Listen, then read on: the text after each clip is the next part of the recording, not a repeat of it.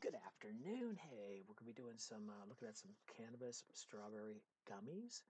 Strawberries I actually picked directly out of my garden here uh, a couple days ago. I put them in a plastic container just to keep them fresh.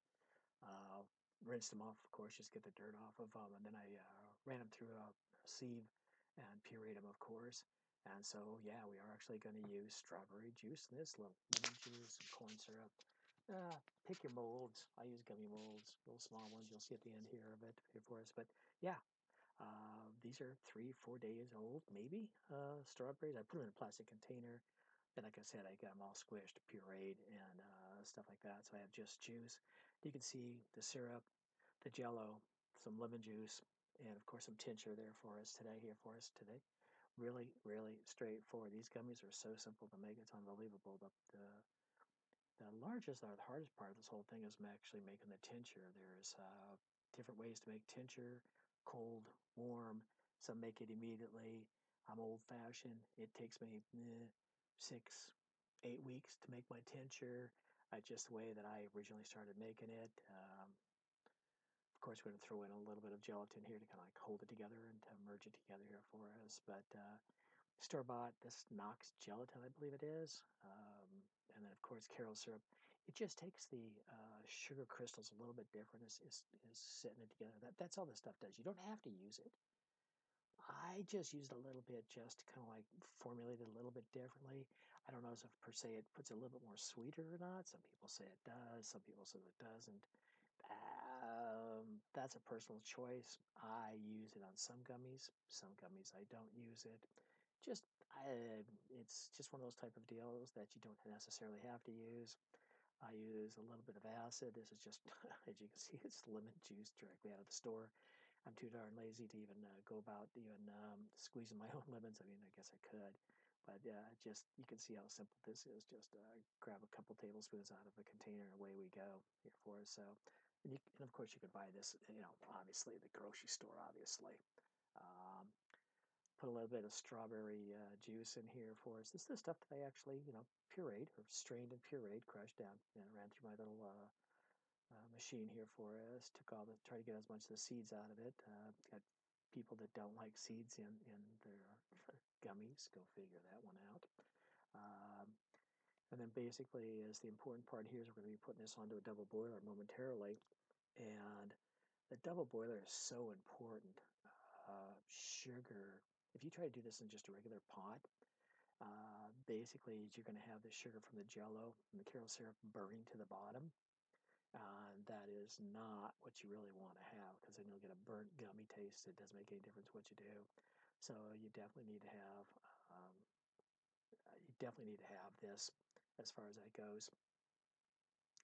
It takes a few minutes. It's easy enough to do. It's a double boiler. Hey, it's pretty simple to make one out of pots and pans in your house or whatever be the case. Um, at this point, I'm just basically trying to get it dissolved, trying to get the gelatin up to a certain warm temperature. I don't want to get this thing more than maybe about 100 and 165, maybe, maybe 170. Uh, I want to let it cool down a little bit here for us. Going to pour in some homemade tincture here for us. Uh, me, uh, yeah, um, I like to use a lot of tincture. Sorry, people, but um, if I'm gonna make gummies, I'm gonna uh, spend my life making some gummies. I'm going to uh, put in some tincture in here that I can actually, you know, uh, affect you. By the way, this, you know, this becomes uh, a half a cup of, of tincture or eight tablespoons. I know people say, "Hey, that's an awful lot." I don't know. It's it's your prerogative. I mean, you could put in one tablespoon if you want. Uh, you can put in a cup. I don't know how that would dissolve, to be honest with you. But uh, at this point, by the way, this stuff is really sticky. So uh, if you got your hands going on here for us, I try to get things together, uh, cleaned up a little bit here for us. Um, and basically, at this point, I'm just using a real brief uh, motion there just to mix together. I would suggest a whip in the future to put that together. Um, Remember, this stuff is hot. It's still probably about 140, 150 degrees, so it hasn't solidified yet. It can still burn you. I use an offset uh, knife, uh, cake knife, to put this in. Um, in the future, I'm going to use some different molds. These are just way too small to be playing with. I mean, they, they come out about 5 to 7 milligrams. but uh, THC. But there, you know, it's really too much of a hassle just to um, uh, to do it like this. I'm, I'm thinking as I'm you know doing this video is like you know maybe I'll just do them in a glass container and just maybe just cut them straight out or something because uh, you just you fuss with it too much and just um, it's sticky as can be. So why fuss with it? Um, then you have to let it set up and all kinds of stuff. And so um, the small molds, I, I, would suggest use your own molds. Uh, the larger molds you have to really be careful with because you don't want to go after, you know, a, a 20 milligram hit of THC or something like that. These, like I said, are maybe 5 to 8, 5, 7, 5, 8 milligrams of THC per gummy, which isn't too bad for a beginner. That's maybe a little bit high. For me, it's just like, okay, hey, let's make the normal day and I can, I can work um, and still be a little bit just uh, influenced and relaxed. I guess you want to call it that. So anyway, we're coming up to the end here for us. You can see they're all completed. I got them on a non-stick sheet. That's a silicone sheet, by the way. You want to do that.